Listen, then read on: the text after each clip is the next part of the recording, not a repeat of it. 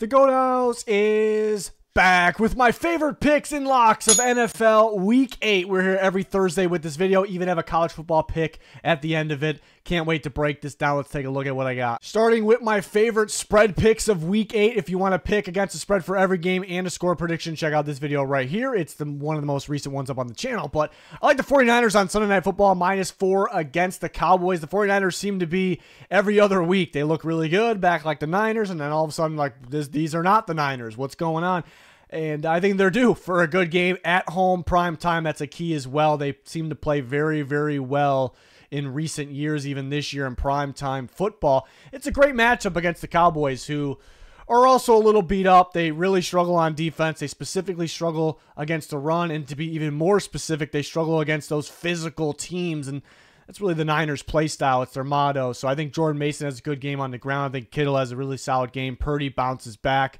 Um, you know, so the defense been playing a little bit better than expected as well. So I think the game's kind of made for them to have success. So I think they win by uh, a touchdown or more. And I do like the Packers, which seems like it could be a little of a trap because when the lines are surprising, they seem to be traps. And you would think the Packers would be favored by a good six and a half or more against the struggling Jaguars, but yeah, I, the reason is the Packers are a little better at home than away, it seems. So they are away in this game, and they haven't had too much success against specifically man coverage. So I think that's the thinking here is the Jags run a lot of man. They're they're at home. They kind of maybe have some momentum from last week, but I mean you have to factor in that some of the Packers offensive reps have been without Jordan Love. It's been with a just coming back from injury Jordan Love. He's only going to get better and they haven't seen the Jaguars man coverage, which is the worst pass defense in football. So I they'll have issues with that Packers offense, and their defense seems to be getting better and better.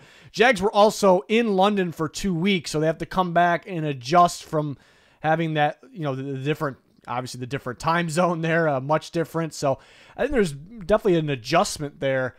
So I like the Packers rolling the Jaguars, even though I, I could see the Jags kind of starting to get going a little bit, but I like these two teams uh, as they are slight favorites. I think they should be favored by more, really. On to my straight up locks. We've won the last six of these. And if you want picks for every single game with a couple other perspectives, a couple other guys join me, our weekly pick show up on the channel for week eight. But Lions over the Titans, that should be a pretty easy one. The Lions look like the best team in football. The Titans are really struggling. They're sellers right now. They're selling some solid players. So Uh, don't see a way they win in Detroit there. Chargers playing a beat up Saints team. Uh, it feels like the Chargers pass offense been getting going a little bit. We know they can run the ball. The Saints defense is starting to decline a bit, and we know the Saints offense under Rattler can't do too much, and the Chargers defense looks pretty solid. The Broncos are getting better. They're playing the Panthers this week.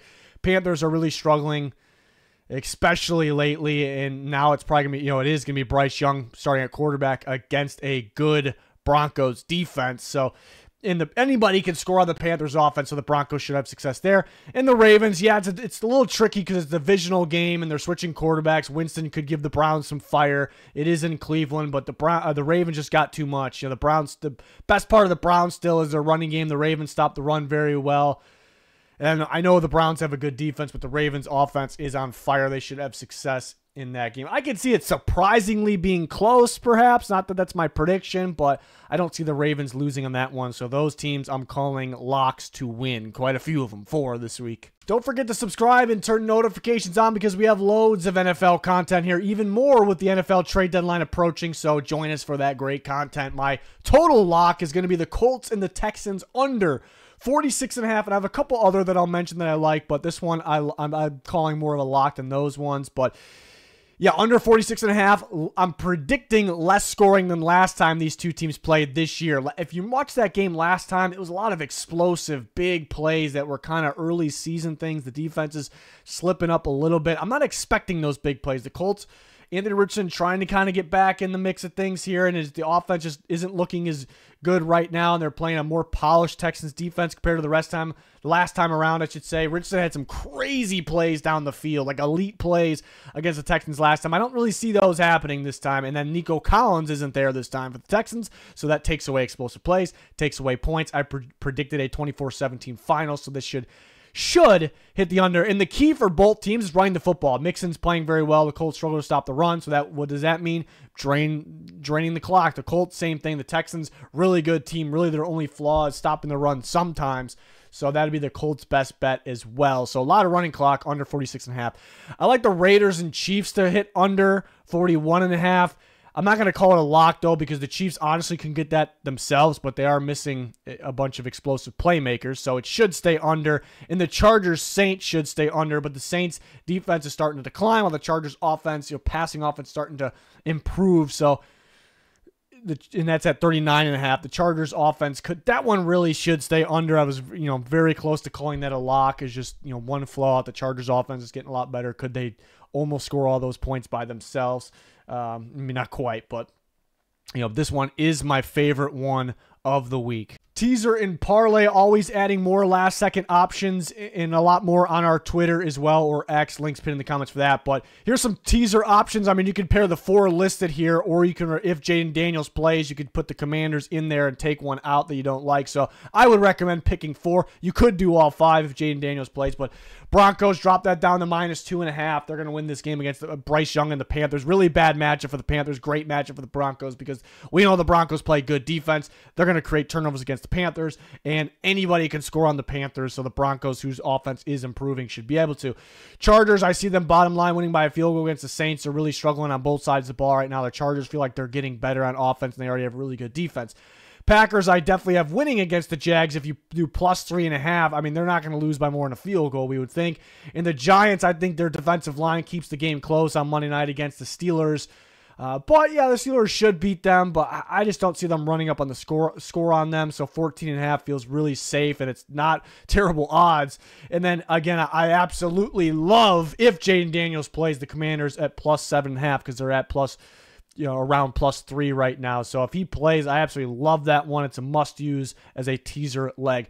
Big odds parlay. We actually tweeted a big odds parlay last week at the day of you know, Sunday, and it hit. It was beautiful. So this is what I picked out. You have to kind of add some some close to 50-50 games in, in here to make it uh, have those solid odds, but. Packers, which it could be a little bit of a trap game, but they're so much better than the Jags. The offense should be explosive. The Jags coming back from a two week trip in London. Uh, Texans, Falcons, which the Falcons should handle business. I know the defense has been struggling, but the Bucs missing those two top receivers, and the Falcons should have no problem on offense in that game. The Jets, which it's been a little tough for them, but the best game they played this year was against the Patriots. Here they go again, and the Chargers definitely should handle business. So we have a couple that feel like locks and a couple that you feel like could maybe go either way, but you have to take the risk here. Uh, you know, with, with uh, some of those pretty solid odds for some of these some of these games here. So um, there's a teaser for you guys and a big odds parlay. Always going to have more on our Twitter as well. My favorite anytime touchdown picks been doing very well this year with these, and I love these ones for this week. We'll have more prop picks on our Twitter, but Saquon Barkley He's going to score at least once. He's been on fire and he's playing a weaker run defense in the Bengals. Joe Mixon, he's been on fire as well since he's came back. He dominated the Colts last time. That's the key against the Colts. Run the football. No Nico Collins to take a touchdown away from him. Tyreek Hill already hyping all of us up because he's saying we're back. You know, count on us to be back and be productive. I think he'll burn by the Cardinals defense this one score. He actually has positive odds too, which is great. Jordan Mason perfect matchup for him and the Niners. You know, a physical running back going against the Cowboys. He's going to punch one in. Kenneth Walker's been great as well. And the only negative about the Bills, who he plays, the only negative is their run defense. So they'll make sure to pound the ball to Kenneth Walker. So, uh, best plus money options Tyreek Hill, which I love to score. Drake London. I love to score. I mean, he always dominates the Buccaneers. He scored last time right away against the Buccaneers. It's a great one. Jayden Reed. Uh, his speed might be a little too much for that man coverage. Jaguars, a struggling Jaguars secondary. Uh, Josh Allen, I like those first three more than the next two, but Josh Allen's a good one. And a little bit, and one with a little bit more odds. Cade Otton should be the number one target for the Buccaneers playing a weaker Falcons defense. So I, this is, we've done good on these this year, and these, this is probably my favorite week uh, for for picking specific touchdown scores. So really excited. My college football pick of the week. We're gonna go with Notre Dame minus 12 and a half against Navy, and we do have more picks and a parlay on our Twitter for X subscribers, so you can check that out as well. Parlay's been doing pretty solid this year, but three and one on this one pick in this video. Last week was our first loss. I almost went Miami, Ohio. We would have been four and zero. I mentioned that in the video. I like them as well, but I like Notre Dame, and it's a little tricky because they've been underwhelming at times this year, losing to NIU. I mean, they look good against A&M. They either dominate teams or they're just not playing up to their potential, and they are away against Navy, and Navy is really solid this year. It's one of their better teams ever. And they have they've had worse teams that have played Notre Dame closer in this, but man, I'm feeling Notre Dame in this one. I think a big thing here for Navy, very good team this year they got, but a big thing is they have really not been tested. And that that's an issue. Like not being tested for this game. We saw that earlier in the year with Purdue going against Notre Dame. Their only game they played was Indiana State. They looked flawless. They only incompleted one pass, and all of a sudden, as soon as you see a much better team, nothing works like you expect it to. So that's kind of the issue here. They haven't seen uh, Notre Dame yet, and nowhere near that team who actually has one of the better defenses in the country. And Navy's run game obviously can cause some issues, but Notre Dame will have a game plan. They play every Notre, they Notre Dame plays Navy every single year, so they should be prepared for it. And their running game is something. So I think they pull away in this one. I really think it's because they're it's they're they're the better team. I mean, they win by at least two two touchdowns at the very least, and they're favored by under that. But mainly because Navy just they're not prepared for this. I wish they had a game against anything near you know Notre Dame. I Memphis is probably the best one, but they gave up a lot of points. So uh, just things that normally work no problem because the competition they play just aren't going to work and they have to turn to option B and you know things like that. So it's just kind of going to be an experience they haven't had this year. If they even lost the game this year to a better team, like they and there's a chance they could win this game because Notre Dame kind of plays down to competition sometimes, but uh, they they, should have no problem here. But it's going to be uh, how they start, and they they kind of had some slow starts at times this year. Looking at Georgia Tech last week, but then they end up rolling against them and the least amount of points Georgia Tech has scored this year, uh, you know, was last week against Notre Dame as well. So that defense, even though it's beat up, it's legit. I like them to cover. There's a couple other favorites that I do like as well, and I'm putting together a parlay, and that's usually uh, out on for X subscribers anytime between later today and, and, before the games on Saturday. So you can check that out. But let me know your guys' picks, what you agree with, what you disagree with.